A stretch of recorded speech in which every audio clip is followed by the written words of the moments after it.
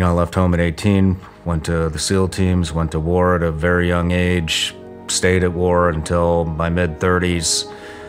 When you were overseas and deploying and on missions, did you pray? We had the the Covenant shooting. A trans active shooter walked into a school. I got asked to come up there and do a security assessment. You can see everything.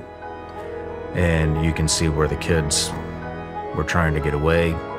Like, Yeah, how could there be a God if this stuff's happening? I wanted to know where my people are that were raised with the same values as me. I knew, obviously, how angry you were. I felt like we were the only ones left.